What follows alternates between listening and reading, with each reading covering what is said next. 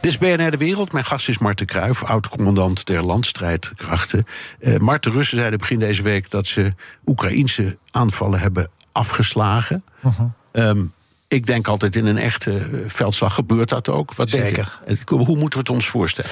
Nou ja, een schone oorlog die eh, bestaat niet, waarbij de ene partij alles wint en de andere partij niet. Hè. Dus je invechten in een offensief is altijd een buitengewoon bloedige fase in zo'n conflict.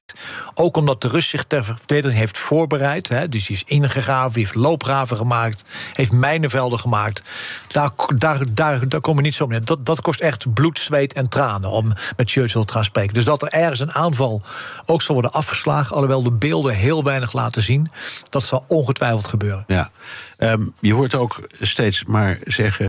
Uh, het is nu een beetje kwaliteit versus kwantiteit aan het worden. Uh, de Oekraïners zijn zeer gemotiveerd. Hun leger mm -hmm. is, uh, is, goed getraind.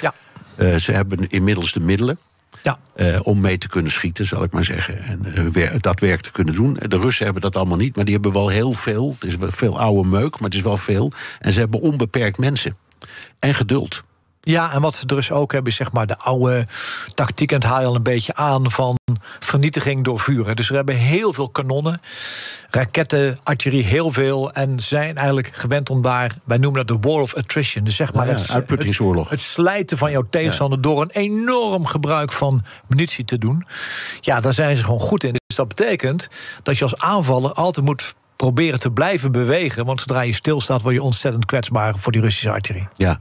Um Jij praat ook vaak over het thema. Ik trouwens ook, omdat het me zo fascineert. En omdat we allebei von Clausewitz hebben gelezen, zou ik maar zeggen. Het is ook een oorlog, is ook een informatieoorlog. Hè? Ja. En informatie is on, een onderdeel van je militaire strategie. Je, je moet het zo koppelen dat die oude Clausewitz zei... wiens boek trouwens is geschreven door zijn vrouw. Ja, ja dat heb ik ook wel eens gehoord. Ja, net als, net als uh, Rodin, die ja. al zijn beelden liet maken door zijn vrouw. Ja. Fantastisch.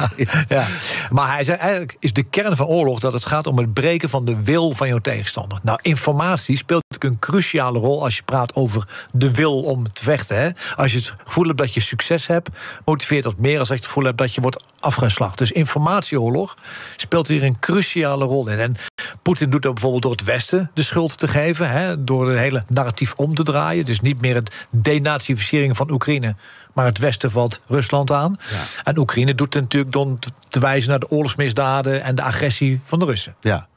Uh, maar allebei is het. Uh, ik, ik, ik, laat ik het zo zeggen. Ik heb, ben als de dood dat ik me ook door de Oekraïnse kant laat framen. Absoluut. En daar heb ik gelijk in, neem ik aan.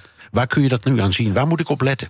Nou ja, waar ik hem wel zelf op let is dat ik altijd meerdere bronnen heb voordat ik echt iets Ja. naar buiten eh, breng. En, en zeker als uit één bron komt, of het nou audio is of het is video, moet je heel terughoudend zijn. Want tegenwoordig kun je ook films zo manipuleren eh, dat je wij spreken waar je staat, denk je dat het waar is.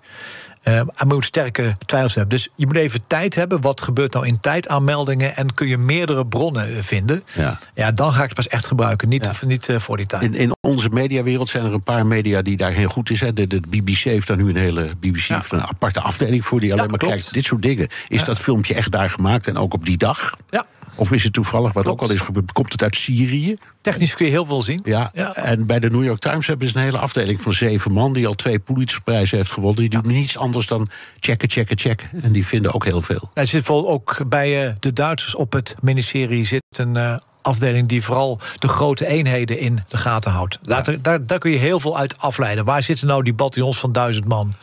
Waar gaan die heen? Oké, maar ik, ik, het is even een opbouw naar, naar de vraag. Het is framing van weerskanten. Ja. Wij, eh, jij als deskundige en wij als waarnemers, zal ik maar zeggen, gebruiken dan de, de tekenen die we geloven. Maar de, de strijdende partijen die begrijpen dat van elkaar toch veel beter. Die weten toch veel beter hoe het echt is. Ja, die weet ook veel beter hoe het echt is. En vandaar dat je dat duimpje zag bij Oekraïne. Mond dicht houden. Ja, ja, ja, ja, ja, ja, hou je mond niet zeggen. Niet zeggen wat je zegt. Oké, belangrijk ding. We hebben het over die wapens. We noemden de HIMAR, we noemden de Patriot. Moet je allemaal voorzichtig mee zijn. Het zijn hele dure systemen. Ehm, hoe lang kunnen we dit volhouden? Want we cannibaliseren onze eigen voorraden. Ja. En eh, het, het kost een vermogen, maar ook heel veel tijd om bij te maken. Munitie en zo. Dus Kijk, dat is nou precies waar Poetin op eh, gokt. Ja. Poetin denkt, het Westen kan deze race niet volhouden. Ik wel, althans dat hoopt hij.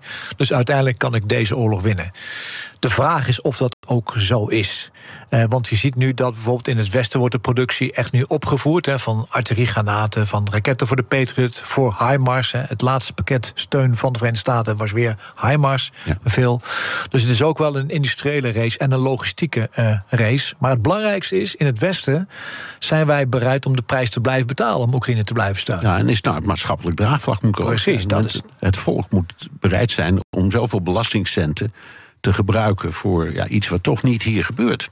Nee, maar dat uiteindelijk wel onze oorlog is. Tuurlijk, maar, maar op, op een moment gaan mensen denken... Ja, ja, dat kan allemaal zo, maar we hebben hier problemen in Ter Apel... en in, in, met armoebestrijding, ga zo maar door. Je kunt je dus ja.